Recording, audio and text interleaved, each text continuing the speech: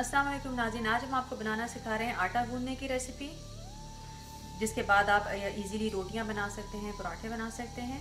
उसके लिए आपको चाहिए होगा आधा किलो होल व्हीट आटा हमने यहाँ पे लिया है। आप देख सकते हैं। ऑयल ये आपकी अपनी चॉइस है, आप कितना चाहें ऐड कर लें। हमने यहाँ पे 50 एम ऑयल लिया है। नमक वन टीस्पून और पानी हसबे ज़रूरत। तो नाजी सबसे पहले आपने नमक डाल लेना है और उसके बाद इसको अच्छी तरह से हाथों से मिक्स कर लें। प्लीज़ अपने हैंड्स वॉश कर लें। मैंने पहले से ही वॉश कर लिए थे। जब ये मिक्स हो जाए तो आपने बीच में एक घड़ा सा बना लेना है।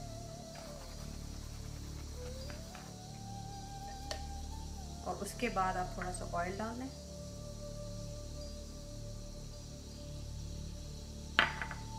और साथ में ही पानी।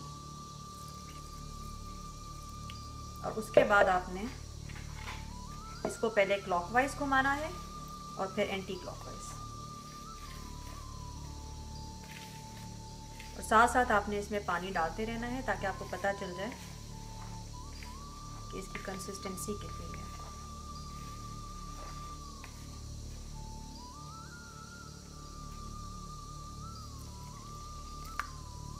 हाँ फिर क्लॉकवाइज और फिर एंटी क्लॉकवाइज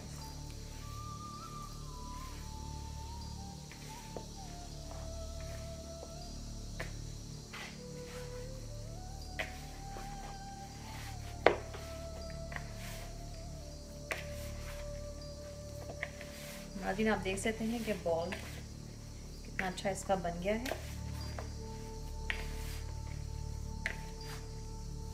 और इस पॉइंट पे आप हल्का सा ऑयल अपने हाथों में लेकर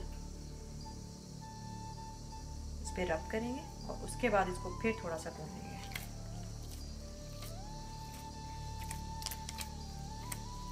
इससे रोटी आपकी या पराठा बहुत सॉफ्ट बनेगा।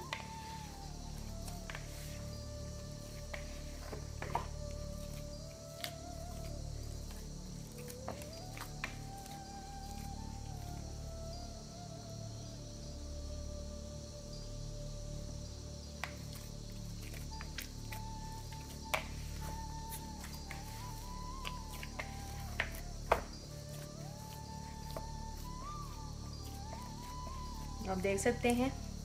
दो रेडी हो गया है। और अब इसको आप हैंडी रैप से कवर कर दें और 15 मिनट्स या 20 मिनट्स के लिए रख दें।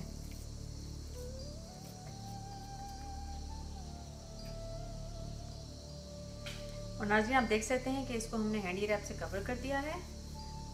अगर आपको हमारी वीडियो अच्छी लगी है तो प्लीज़ लाइक करें शेयर करें और सब्सक्राइब करें। ओके जी, अल्लाह हाफिज़।